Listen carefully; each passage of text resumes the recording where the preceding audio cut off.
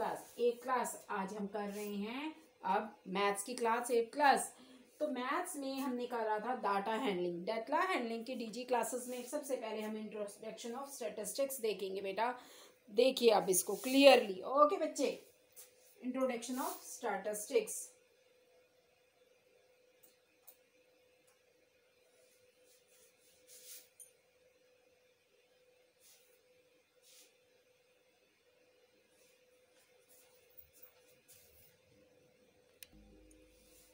Every company aims to sell the maximum number of units of its products.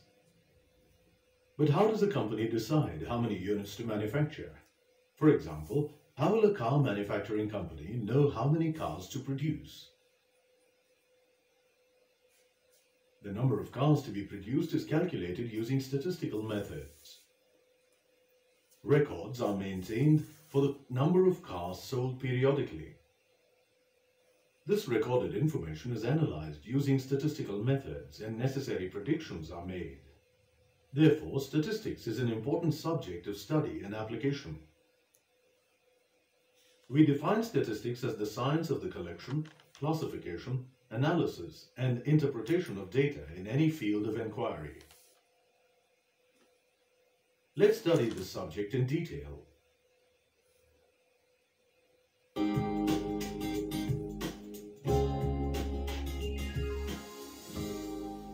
Look at the sales figures given here. Such information or set of facts and numerical figures is called the data. Data forms the core of any statistical exercise. The data given in this case will help the company estimate future sales figures.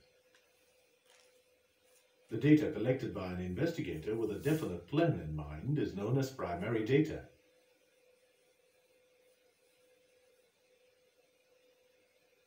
The data that is not originally collected but is obtained from published or unpublished sources is known as secondary data.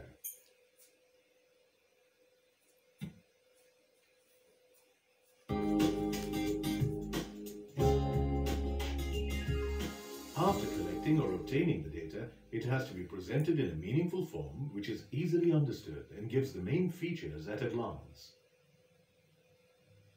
Before we learn how to present the data, let us quickly understand a few terms related to it. Look at the sales figures we saw earlier. This is the original form in which the data was obtained. Any data obtained in the original form is called raw data. The same data, when arranged in an ascending or descending order of magnitude, is called an array. In the data, the difference between the highest value and the lowest value is called the range of the data. Now look at this data. These are the weekly sales figures for the same company. Observe that the number of cars sold is the same for several weeks. The number of times or how frequently a certain value occurs is called its frequency.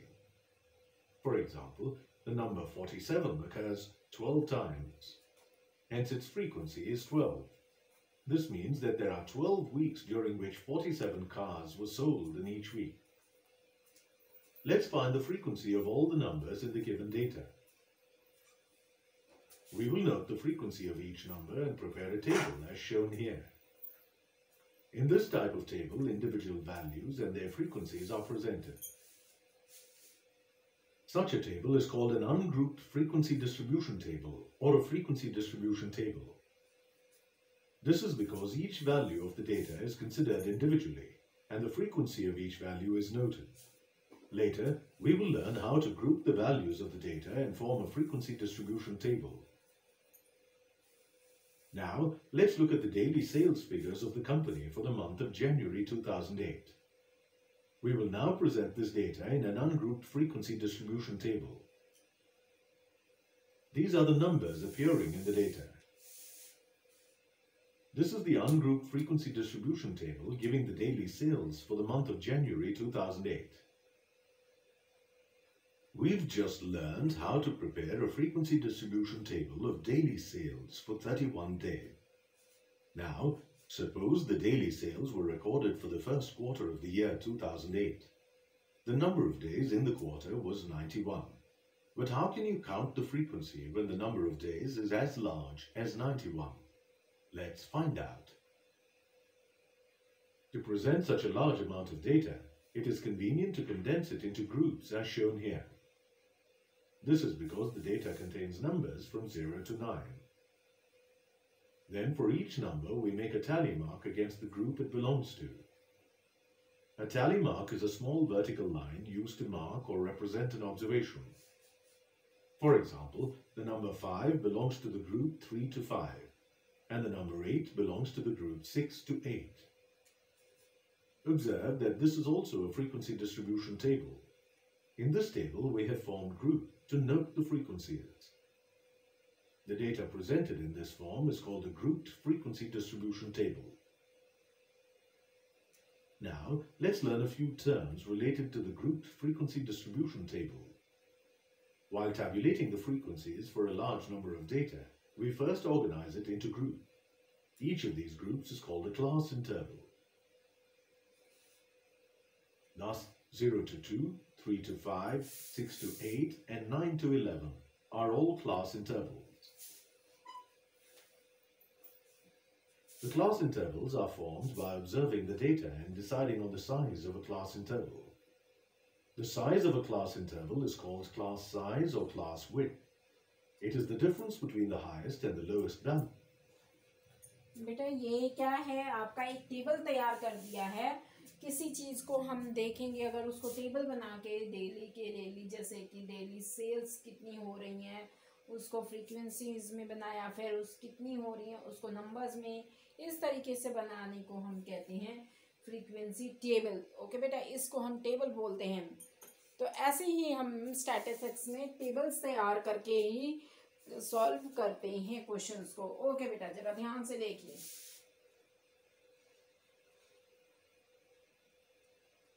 Interval. For example, here the class size is 5 minus 3, which is 2.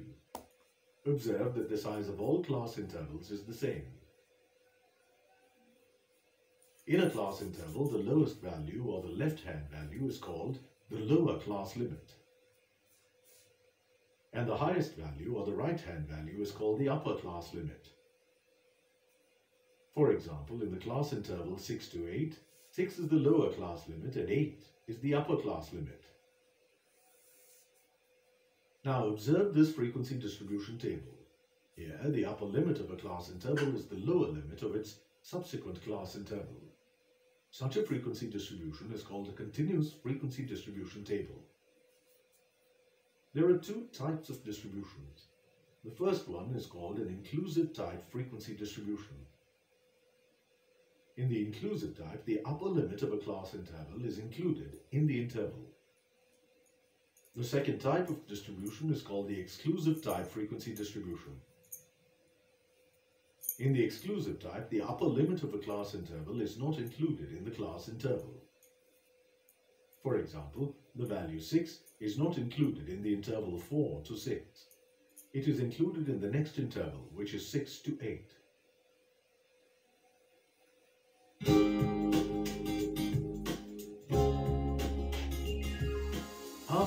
Collecting or obtaining the data, it has to be presented in a meaningful form which is easily understood and gives the main features at a glance. Before we learn how to present the data, let us quickly understand a few terms related to it. Look at the sales figures we saw earlier. This is the original form in which the data was obtained. Any data obtained in the original form is called raw data. The same data, when arranged in an ascending or descending order of magnitude, is called an array. In the data, the difference between the highest value and the lowest value is called the range of the data. Now look at this data. These are the weekly sales figures for the same company. Observe that the number of cars sold is the same for several weeks. The number of times or how frequently a certain value occurs is called its frequency. For example, the number 47 occurs 12 times. hence its frequency is 12. This means that there are 12 weeks during which 47 cars were sold in each week. Let's find the frequency of all the numbers in the given data. We will note the frequency of each number and prepare a table as shown here. In this type of table, individual values and their frequencies are presented. Such a table is called an ungrouped frequency distribution table or a frequency distribution table. This is because each value of the data is considered individually and the frequency of each value is noted. Later, we will learn how to group the values of the data and form a frequency distribution table. Now, let's look at the daily sales figures of the company for the month of January 2008. We will now present this data in an ungrouped frequency distribution table. These are the numbers appearing in the data. This is the ungrouped frequency distribution table giving the daily sales for the month of January 2008. We've just learned how to prepare a frequency distribution table of daily sales for 31 days.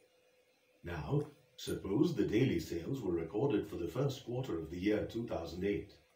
The number of days in the quarter was 91. But how can you count the frequency when the number of days is as large as 91? Let's find out. To present such a large amount of data, it is convenient to condense it into groups as shown here. This is because the data contains numbers from 0 to 9.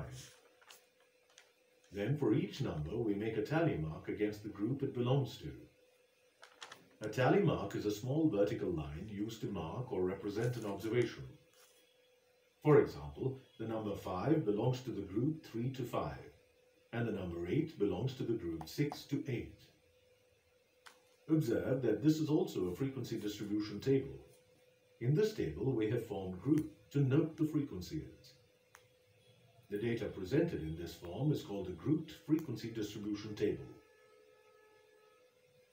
Now, let's learn a few terms related to the grouped frequency distribution table.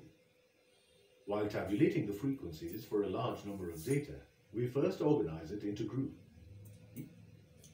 Okay okay, बेटा frequency कैसे कही जाती है एक table आपको दी जाएगी okay okay, उस टेबल में फोर्टी सेवन की मान लिया कि forty seven zero two two time zero two time two time के अंदर वैल्यूज़ कितनी सेल हो रही है zero values one values two जितनी भी हो रही हैं वो फ्रीक्वेंसी कहलाएगी.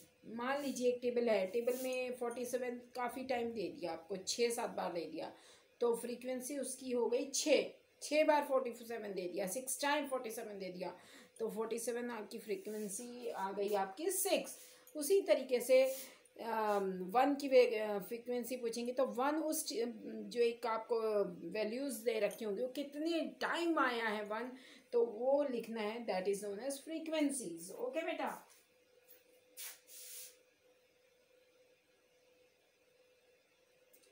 This is called a class interval.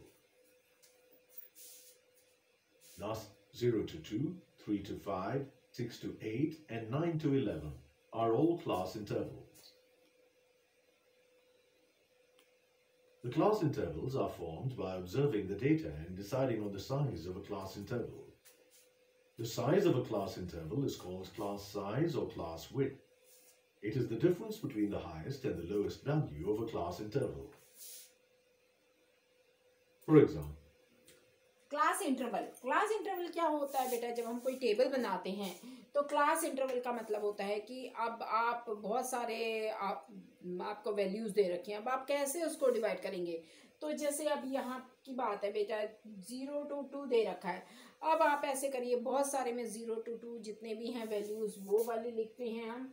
फिर उसके बाद थ्री टू फाइव फिर उसको थोड़े थोड़े टाइम के बाद या फिर आप ऐसे कीजिए five zero to five five to ten ten to fifteen fifteen to twenty five five या टेन टेन का डिफरेंस या टू टू का डिफरेंस जो होता है या हम जो भी डिफरेंस में बनाते हैं वैल्यूज़ को रखते हैं उनके अंदर आने वाली वैल्यूज़ लिखते हैं उसके बीच में जितनी भी वैल्यूज़ आती हैं वो हम उनको लिखते हैं।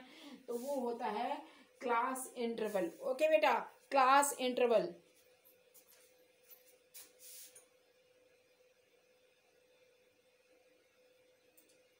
Here the class size is 5 minus 3, which is 2. Observe that the size of all class intervals is the same. In a class interval, the lowest value or the left-hand value is called the lower class limit.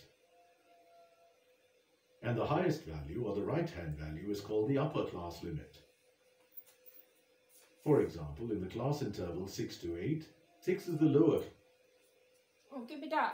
तो जब हम class interval बनाते हैं तो class interval में lower और अपर value होती हैं। लेफ़्ट हैंड साइड में तो लोअर वैल्यू दिखाते हैं हम और राइट हैंड साइड में हायर वैल्यूज़ दिखाते हैं। लोअर वैल्यू और higher value left hand side में लोअर वैल्यू और राइट हैंड साइड में अपर वैल्यूज़ दिखाते हैं। जैसे बेटा ये आपकी डेली की सेल्स हैं। ज़ीरो टू टू कितनी सेल्स हुई हैं? तो लेफ़्ट हैंड साइड में ज़ीरो है तो ये लोअर हो गई और राइट हैंड साइड में टू है तो ये अपर वैल्यू आपकी कहलाएगी ओके बेटा देखिए lower value and upper value limit at 8 is the upper class limit. Now observe this frequency distribution table. Here, the upper limit of a class interval is the lower limit of its subsequent class interval. Such a frequency distribution is called a continuous frequency distribution table. There are two types of distributions. The first one is called an inclusive type frequency distribution. In the inclusive type, the upper limit of a class interval is included in the interval. The second type of distribution is called the exclusive type frequency distribution. In the exclusive type, the upper limit of a class interval is not included in the class interval. For example, the value 6 is not included in the interval 4 to 6. It is included in the next interval, which is 6 to 8.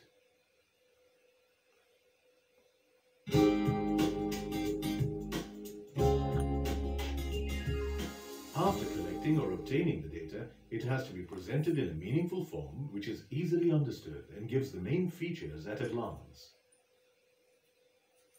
Before we learn how to present the data, let us quickly understand a few terms related to it. Look at the sales figures we saw earlier. This is the original form in which the data was obtained. Any data obtained in the original... Okay, beta.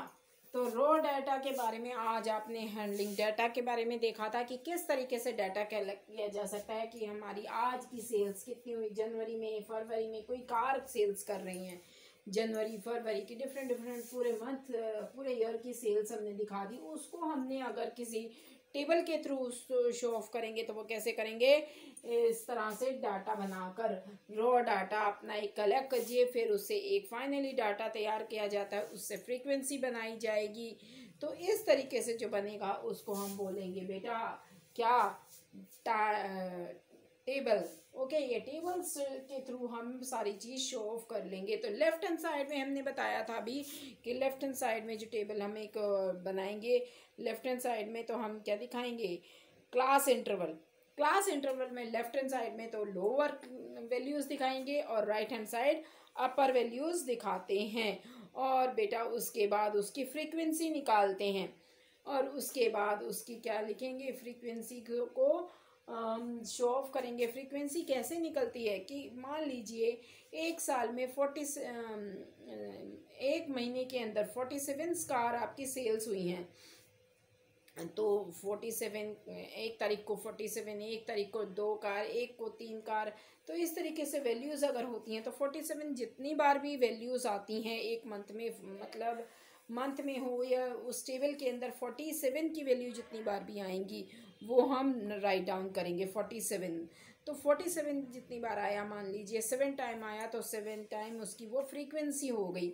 इसी तरीके से सारी values की frequency हम time two time लिखते चले जाते हैं कि इतने से इतने टाइम में कितनी वैल्यूज़ हैं ये, वो फ्रीक्वेंसी कहलाती हैं बेटा। ओके बेटा फ्रीक्वेंसी के बाद उसका टेबल हम तैयार करते हैं। इस तरीके से हम टेबल्स तैयार करते हैं। ओके बच्चा रॉ डाटा सारा कलेक्ट करें कि रॉ डाटा किसे कहते हैं? The data obtain in the original form जो ओरिजिनल फॉर्म में डाटा हमें मिलता है, उसको हम बोलते हैं रॉ डाटा उसके बाद बेटा आपकी सारा जो डाटा धीरे धीरे हम सारा कलेक्ट करके जब डाटा पूरा तैयार करेंगे तो उसको हम बोलते हैं आपका सारा डाटा स्टैटिस्टिक्स में ये आपका स्टैटिस्टिक्स की क्या है, आपकी इंट्रोडक्शन है कि इस तरीके से हम डाटा सारा कलेक्ट करते हैं। तो ओके बच्चे तो सारे डाटा कलेक्ट करने को हम कहते हैं स्टैटिस्टिक्स जब ये डाटा तैयार होके आता है, उसको स्टैटिस्टिक्स तो इस, आज के साथ इतना ही है। नेक्स्ट क्लास में हम नेक्स्ट डीजी क्लास में नेक्स्ट करेंगे। ओके बच्चे।